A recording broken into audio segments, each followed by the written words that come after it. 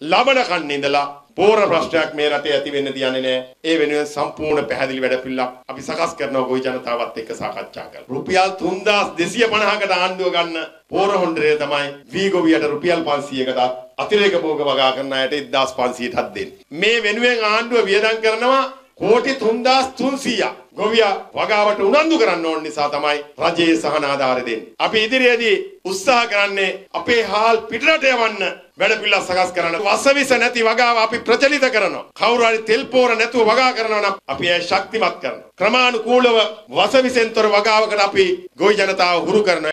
පිවිසන්න www.itnnews.lk/සිංහල